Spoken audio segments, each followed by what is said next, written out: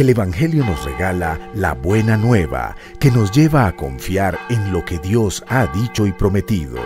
Nos indica que en Jesucristo somos salvos y tenemos la vida eterna.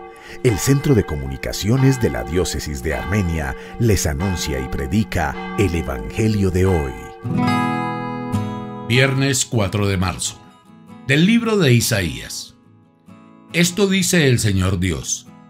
Grita a pleno pulmón, no te contengas. Alza la voz como una trompeta. Denuncia a mi pueblo sus delitos, a la casa de Jacob sus pecados. Consultan mi oráculo a diario. Desean conocer mi voluntad, como si fuera un pueblo que practica la justicia y no descuida el mandato de su Dios. Me piden sentencias justas, quieren acercarse a Dios. ¿Para qué ayunar si no haces caso? ¿Mortificarnos si no te enteras?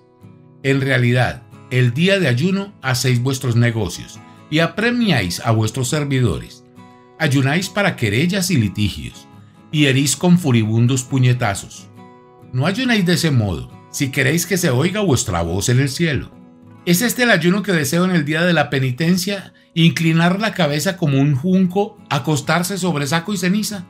¿A eso llamáis ayuno, día agradable al Señor? Este es el ayuno que yo quiero soltar las cadenas injustas, desatar las correas del yugo, liberar a los oprimidos, quebrar todos los yugos, partir tu pan con el hambriento, hospedar a los pobres sin techo, cubrir a quien ves desnudo, y no desentenderte de los tuyos. Entonces surgirá tu luz como la aurora, enseguida se curarán tus heridas, ante ti marchará la justicia, detrás de ti la gloria del Señor. Entonces clamarás al Señor y te responderá. Pedirás ayuda y te dirá, aquí estoy. Palabra de Dios. Te alabamos, Señor.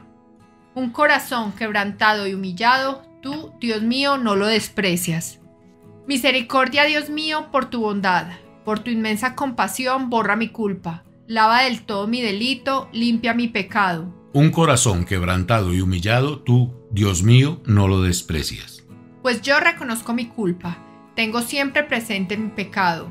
Contra ti, contra ti solo pequé, cometí la maldad en tu presencia. Un corazón quebrantado y humillado, tú, Dios mío, no lo desprecias. Los sacrificios no te satisfacen. Si te ofreciera un holocausto, no lo querrías. El sacrificio agradable a Dios es un espíritu quebrantado. Un corazón quebrantado y humillado, tú, oh Dios, tú no lo desprecias un corazón quebrantado y humillado, tú, Dios mío, no lo desprecias. El Señor esté con ustedes, lectura del Santo Evangelio. Según San Mateo, en aquel tiempo los discípulos de Juan fueron a ver a Jesús y le preguntaron, ¿por qué tus discípulos no ayunan mientras nosotros y los fariseos sí ayunamos? Jesús le respondió, ¿cómo pueden llevar luto los amigos del esposo mientras él está con ellos? Pero ya vendrán días en que les quitarán al esposo y entonces sí ayunarán.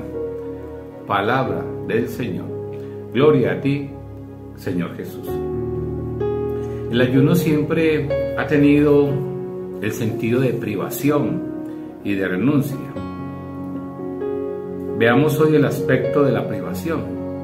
Ayunar consiste esencialmente en privarnos del alimento y ese es realmente el origen de la palabra ayuno. Pero en general es referido a cualquier clase de privación y más hoy en día. Y es necesario hoy en día de verdad ayunar, privarnos de.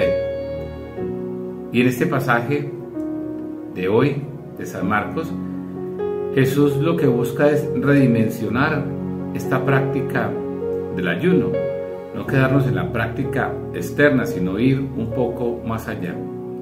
Que nuestras privaciones voluntarias nos ayuden de verdad a llevarnos a Dios, a dejar que Dios sea el que nos satisfaga realmente. Por eso hoy viernes de cuaresma buscamos abstenernos, buscamos ayunar, buscamos privarnos de para sentir que nos acercamos más a Dios, que estamos más cercanos a Él, porque hay veces, de verdad, hay muchas cosas que nos están alejando de Dios. Y privarnos de esas cosas nos van a acercar más a Él y vamos a sentir su presencia de amor, de misericordia. Vamos a sentir toda su luz.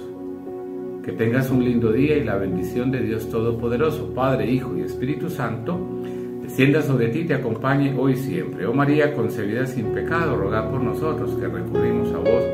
Santa Rita de Casa, intercede por mi necesidad.